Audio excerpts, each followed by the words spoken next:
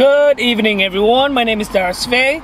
Today I want to show you guys a restaurant called Yujo. We like to enjoy food over there and just so you guys know, every Wednesday and Sunday we have a special deal. Most of the sushi rolls are like around $3 so you can never go wrong right? Sushi, Chinese food and for three dollars that's pretty good deal. So so you know it used to be at Sogo located downtown but they moved to Dracut.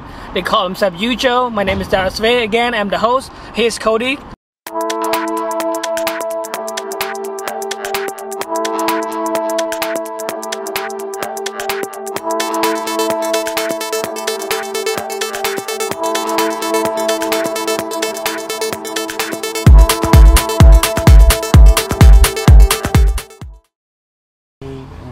So we just arrived and we cannot wait to show you guys what the food looks like. So see you guys inside. Thank you.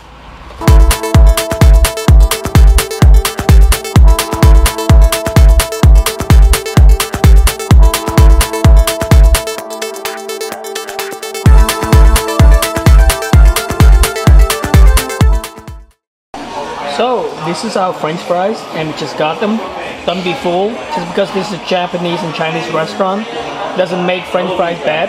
The French fries are super good here. So next time you come to Yujo, order yourself French fries. Thank you.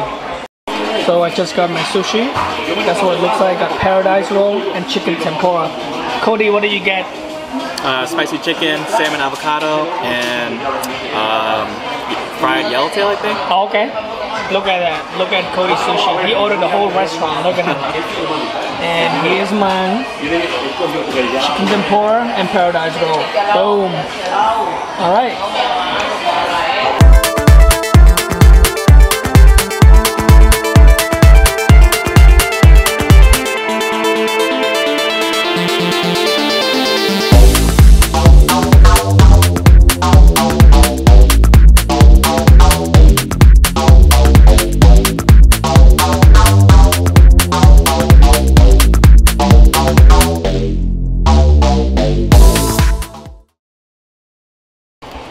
So as y'all can see, our foods are gone. We finished it.